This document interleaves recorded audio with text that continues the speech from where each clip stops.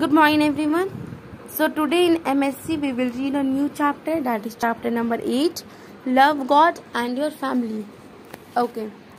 Dear children in the last class you studied about god. God has made you. God ne tumhe banaya your brother tumhare bhai ko behan ko your parents god ne har sab hum sabko banaya your teachers and everyone else in this world. He has also created the sky, the sun, the moon, the stars, the whole universe. Created मतलब होता है बनाना। God ने पूरे आसमान बनाया तारा चाँद सूरज आसमान पेड़ सब कुछ गॉड ने ही बनाया। होल यूनिवर्स होल मतलब होता है पूरा और यूनिवर्स मीन्स होता है दुनिया। पूरी दुनिया उन्होंने बनाया। He is the creator and preserver creator बोलते हैं वो क्रिएटर भी है। क्यों? क्योंकि उन्होंने पूरी दुनिया बनाया। और प्रेजर्वर है क्योंकि वो पूरी दुनिया जो जो वो बनाए हैं, वो सबका ख्याल रखते हैं, सबका ध्यान रखते हैं, ठीक है? ही टेक केयर्स इसीलिए उन्हें क्रिएटर एंड प्रेजर्वर बोला जाता है। Do you know children who God is and और where God lives God does not live in any particular place God God का कोई एक जगह नहीं है। जैसे आपसे बोला जाएगा, आप कहाँ रहते हो? तो आप अपना एड्रेस बताओगे। तो मुझे तो पता है कि पर्टिकुलर प्लेस आपका वो है बट गॉड गॉड का कोई पर्टिकुलर प्लेस नहीं है। वो सब जगह मिलते हैं, सब सबके अंदर वो रहते हैं। मेरे अंदर, आपके अंदर, वो सबके अंदर है। ही इज़ प्रेजेंट एवरीवेयर सब जगह वो प्रेजेंट है। He is present in all the things he has made जो जो उन्होंने बनाया, वो सब में गॉड मिलते हैं। He is present in the sun the moon and the stars he is present in water fire and earth He is present in you, your friend, your relatives, your teachers and your neighbours neighbours किसको बोलते हैं? पड़ोस में जो पड़ोसी रहते हैं ना उन्हें हम लोग नेबर्स बोलते हैं। He is present in the mosque mosque में कौन जाते हैं पूजा करने? मुस्लिम्स चर्च चर्च में क्रिश्चियंस जाते हैं। टेंपल में हिंदू जाते हैं एंड गुरुद्वारा में सिख जाते हैं। Every place where people go to worship worship मतलब पूजा करना। Although God has many names like Shiva, ईश्वर जेसस एंड अल्लाह हिंदू में आप शिवा देख सकते हो मुस्लिम्स में ईश्वर सॉरी सिख में ईश्वर फिर क्रिश्चियन में जीसस एंड मुस्लिम्स में Allah there is only one God we may worship any form we like भगवान सिर्फ़ एक होते लेकिन हम पीपल ने उन्हें अलग अलग कास्ट में अलग अलग रिलीजन में बांट दिए हैं। कुछ हिंदू में हो गए, कुछ मुस्लिम्स एंड देन ये सब में, ठीक है? और हम लोग अपने अपने ट्रेडिशन को वर्शिप करते हैं, पूजा करते हैं। God has created us he loves us a lot he watches over us all the time and guards वो हमें हर जगह देखते रहते हैं, वो हमें बताते रहते हैं कि हमें आगे क्या करना है, क्या नहीं करना है, ठीक है? You always guards he sees everything we do वो सब देखते हैं, हम लोग क्या कर रहे हैं, क्या नहीं कर रहे हैं। Both good and bad things चाहे तुम अच्छा काम करो या बुरा काम करो, भगवान सब देखता है, ठीक है? He rewards us for the good things we do अगर आप अच्छे काम करोगे तो आपको अच्छा फल मिलेगा। अच्छा फल मीन्स फ्रूट्स नहीं।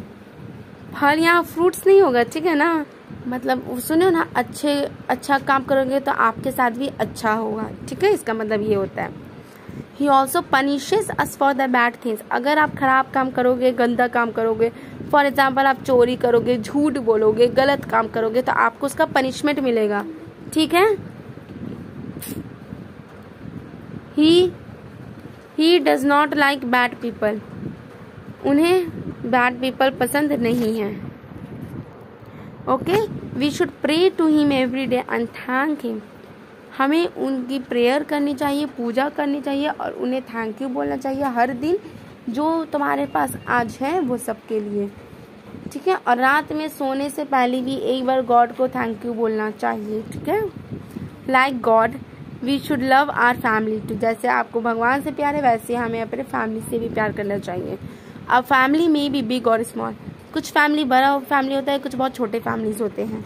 It may have many members कुछ फैमिली में ज़्यादा मेंबर्स होते हैं, कुछ में बहुत कम मेंबर्स रहते हैं। बिग फैमिली उससे बोलते हैं जिसमें सब कोई हो। ग्रैंड पेरेंट्स दादा, दादी पेरेंट्स मम्मी, चाचा, चाची, भाई, बहन कज़न सब कोई हो, एक साथ रहे, उसको बिग फैमिली बोलते हैं। और स्मॉल फैमिली किसे बोलते हैं? जहाँ सिर्फ़ पेरेंट्स मम्मी, पापा और भाई, बहन मतलब बेटा बेटी बस वही लोग रहे, एक साथ, उसे हम लोग स्मॉल फैमिली बोलते हैं।